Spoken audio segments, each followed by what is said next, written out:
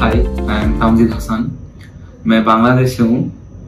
Last year 2021 में नवंबर में मेरे, मेरा एक्सीडेंट हुआ था। उसके बाद राइट हैंड में फ्रैक्चर हुआ था।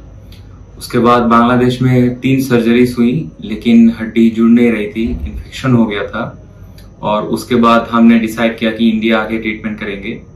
इसलिए मैंने ऑनलाइन सर्च किया और दिल्ली का सबसे बेस्ट ऑर्थोपेडिक सर्जन में एक मुझे डॉक्टर गौरव रस्तुगी मिले।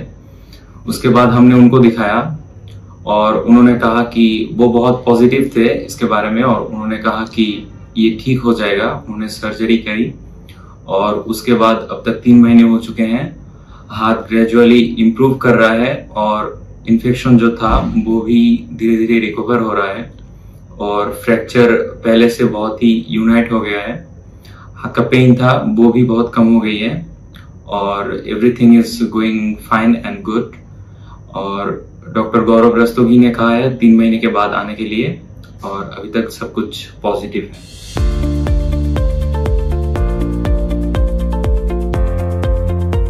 हेलो एवरीवन नमस्कार। आज हम एक स्पेशल केस की बात कर रहे हैं। एक सिंपल चीज़ जो कि धीरे धीरे कॉम्प्लेक्स होती रही होती रही and ultimately required very specialise care at a premier institute and we were able to give good good results. I'm talking about a 20 year old boy resident of Dhaka, Bangladesh.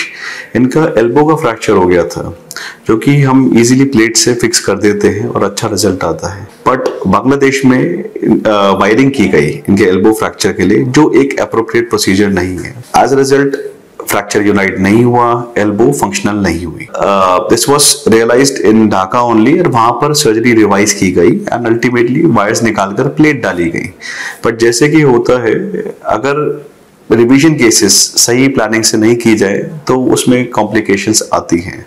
इस surgery के बावजूद उनकी fracture उनका fracture जुड़ा नहीं and इसमें एक और प्रॉब्लम ऐड हो गई और वो था इन्फेक्शन अब बस आने लग गई इन्फेक्ट हो गया फ्रैक्चर भी नहीं जुड़ा, और ऐसी स्टेट में nine months after having the injury and six months after having the second surgery Tamzid came to Delhi for expert opinion यहाँ पे वो मणिपाल हॉस्पिटल में आए, मुझसे मतलब डॉक्टर गौरव मुझसे मिले। एंड हमने दोनों चीज़ें रियलाइज़ की।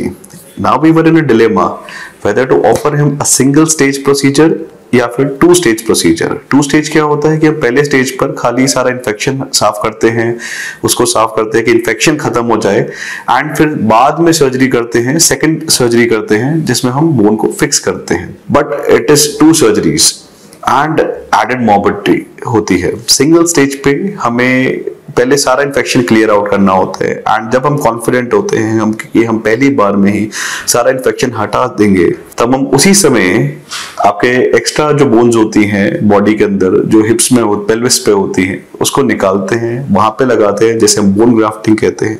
फ्रैक्चर को रिड्यूस करते हैं और लंबी प्लेट्स जो पहले प्लेट लगी होती है लंबी प्लेट्स लगाते हैं। It is a three to five hour job if done properly and हमने यही किया। Fortunately skills and patient's own efforts and a little dose of luck, everything worked very well for Tamzid infection ठीक हो गया fracture unite हो गया and आज की डेट में उनका एल्बो पूरी तरह से मूव हो रहा है। Happy patient and of course happy dog